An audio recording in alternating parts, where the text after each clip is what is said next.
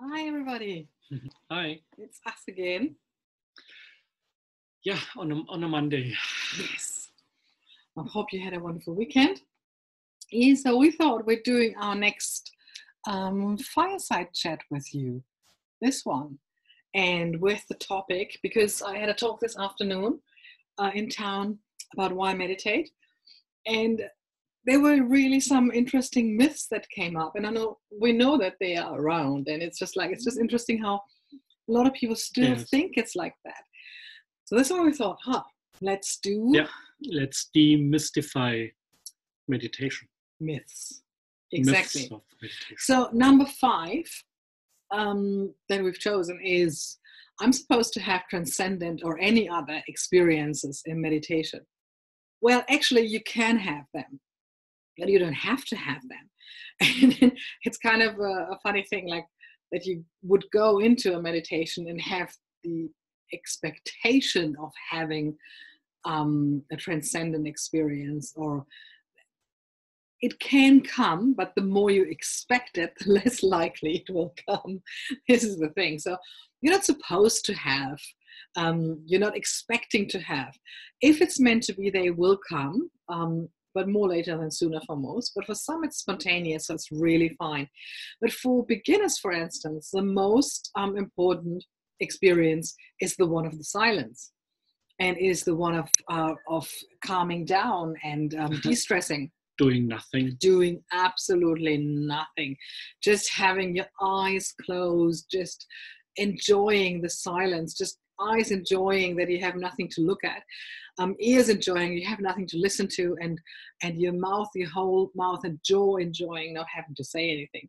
So and um, the transcendent experience, yes, So it's easier for men.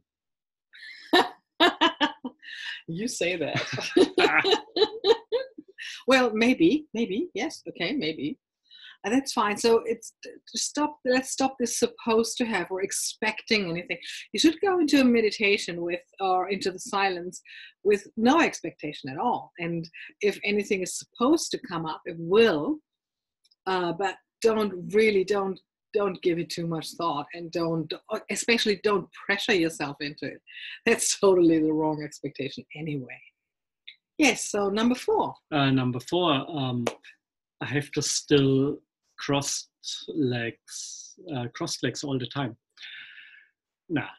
Uh, yeah, nah. Um, You can. you, you can if you like if you for five minutes it's okay um, but if, if you're in, in a longer meditation i don't know 20 30 40 minutes um, cross-legged is eh, let, let's say for For uh, beginner. not not not for beginners um, or with or for for people with i don't know 10 years of yoga experience or things like that. So um, if you you you you need uh, your your mind should should be free of everything. And if you have problems with your legs um, for example after 10 or 15 minutes sitting cross-legged your mind won't be free because you're thinking about oh my legs and uh, I, I won't get up and, and, and these sort of things it's uh, not good.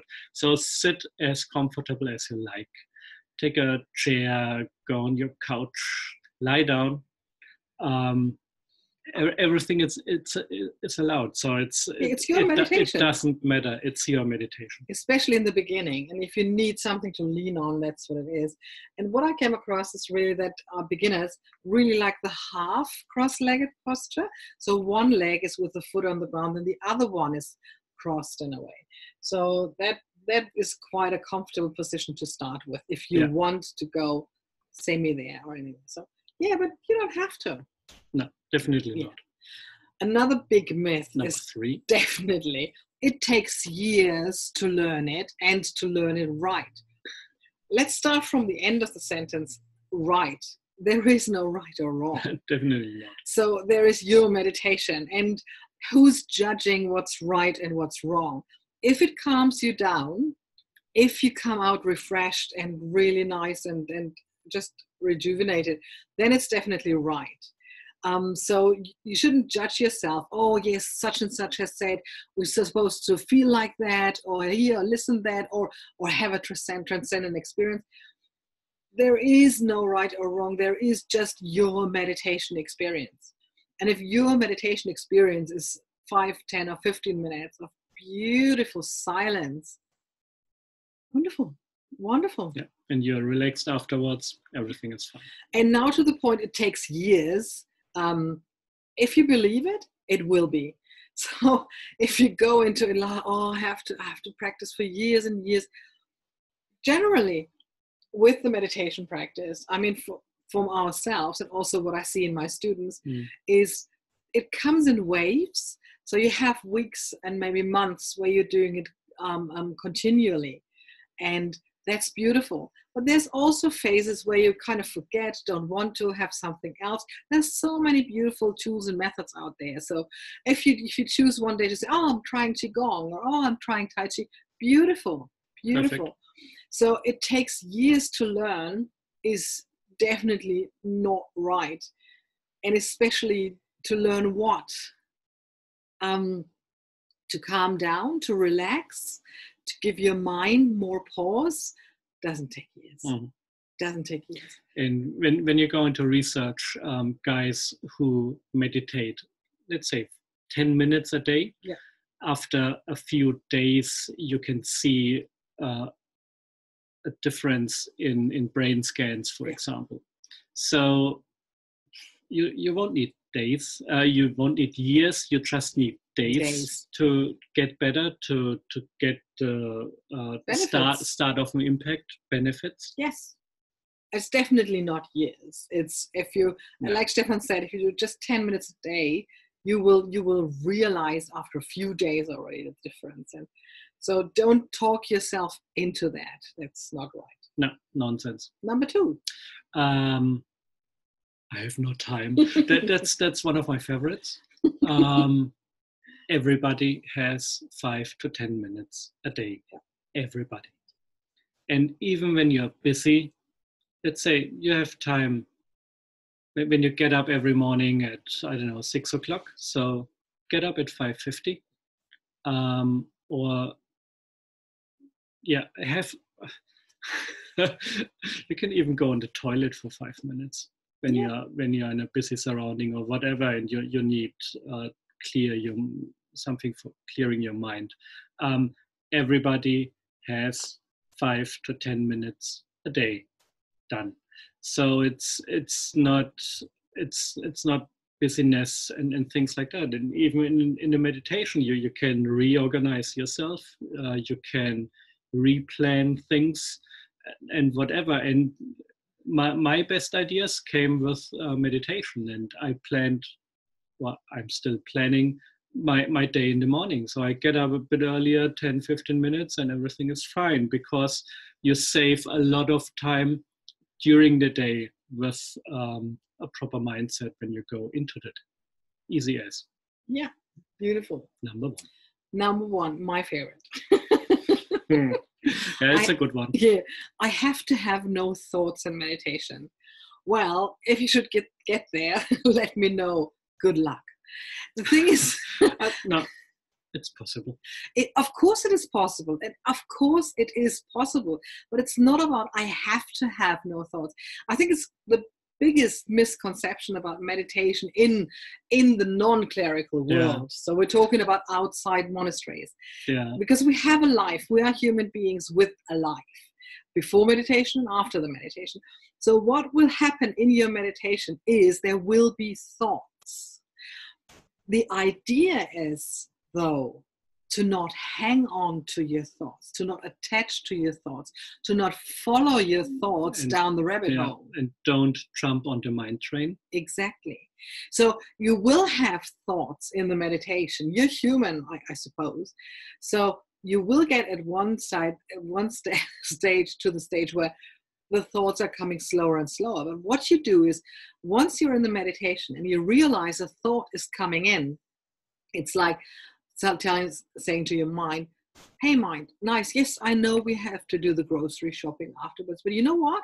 Right now, I don't need the grocery list. Right now, I'm meditating. Can you please remind me afterwards, later on, maybe? That would be really nice, dear mind. And then let the thought go. So, my visualization is always a cloud. So, a thought comes in like a cloud, and you realize there is a cloud. Oh, yes, nice cloud. Yeah, but not now. And just let it go.